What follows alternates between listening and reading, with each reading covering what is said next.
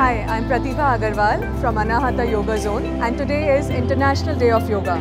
And on this day today, with the help of Hyderabad Metro Rail authorities, I went into the uh, rail station, into the coaches and the commuters, I taught them how to do simple things while they are commuting in the Hyderabad Metro Rail and how they can take care of their fitness.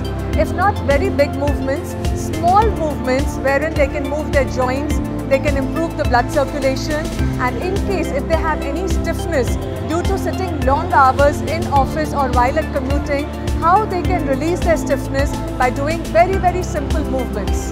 So wishing all of you from Anahata Yoga Zone a better health, a better fitness and a better life to all of you. Thank you so much.